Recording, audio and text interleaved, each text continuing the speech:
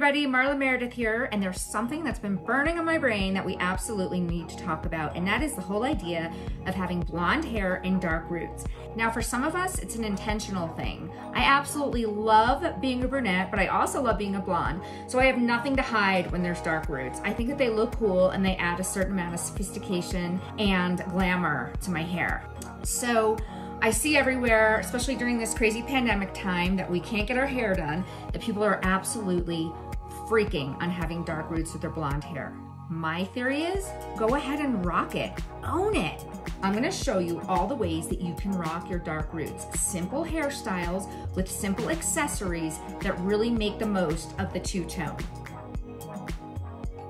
So for this slightly more voluminous style, I use my Dyson Airwrap. I feel like it gives me such great volume and it's so easy to use with minimal damage to my hair. I absolutely love the curling iron attachment. It's super easy to use. Okay, so here we have another super casual look. Hair's back in a low pony. I like kind of the messy thing. Again, we've got the volume on the top. Or we can take cute little barrettes. I love these. The prints are so pretty, aren't they? Check that out. So pretty. Okay, and I can just do, a little bit to get my hair off my face. So that's kind of to the side. So there's that. And then I love taking my hair and just putting it up kind of in the middle, like a little poofy, pompadour kind of retro 60s thing. You can even tease your hair a little bit just to get a little extra oomph. You can put it in a barrette or a little clip.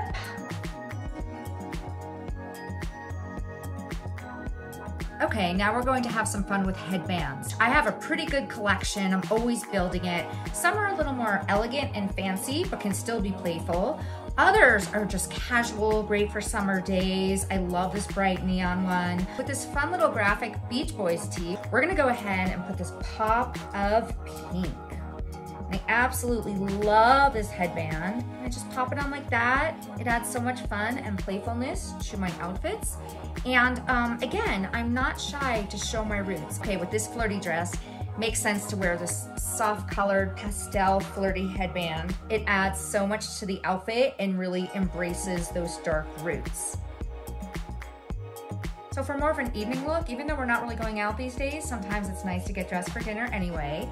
I just kind of put my hair back in a little low pony and then I put the hairband over And you can take a little bit of hairspray to smooth down those hairs. And I told you I like a little bit of volume up here. Okay, now let's just talk about straight, just simple, simple straight hair. And I know for a lot of people, this is kind of like the most bold because you can really see that definition. I love my GHD styler. I always use this. So as you can see, having the fully straightened hair, the roots are more extreme. It's fun to kind of, again, do your poof thing. Can just take like a mini clip or a barrette. And again, own the poof. Okay, and then another thing you can do is go ahead and do a fun little side part. Pull your hair over a little bit using this fun barrette today.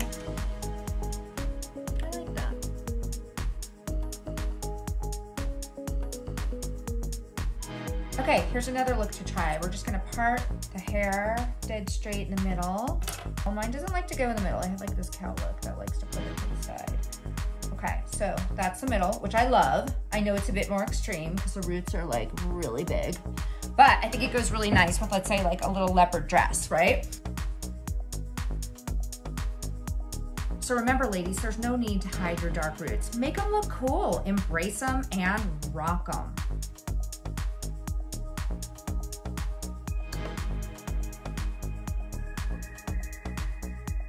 So if you don't already, go ahead and subscribe to my YouTube channel. I post regularly throughout the week and I look forward to seeing you back here.